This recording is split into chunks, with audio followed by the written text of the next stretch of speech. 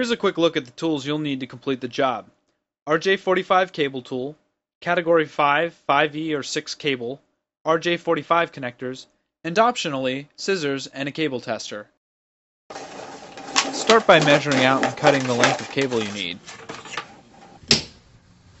Strip the outer jacket of the cable with the cable tool. This particular tool has a pre-measured stripping distance. Yours may not, in which case you'll want to strip off only about half inch of the jacket or so. Once you've stripped the jacket off, sort the eight wires accordingly. Orange striped, orange, green striped, blue, blue striped, green, brown striped, brown. Trim any excess insulation off with the scissors.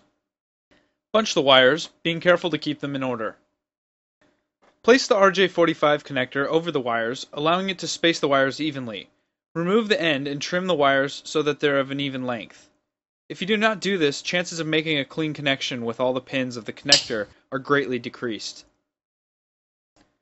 Place the RJ45 connector back over the wires so that the colors are visible through the side without the latch. Do one last check to be sure the wires are all still in order. Orange stripe, orange, green stripe, blue, blue stripe, green, brown stripe, brown. Once you're certain the order is correct, Place the connector back over the wires and using the crimper tool, clamp down tightly so that the connector pins pierce the wires completely.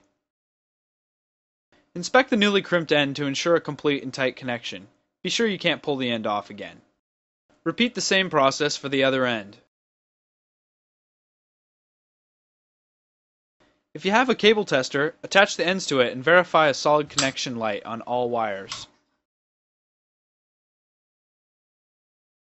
If the connection is bad, simply remove the ends and repeat the process.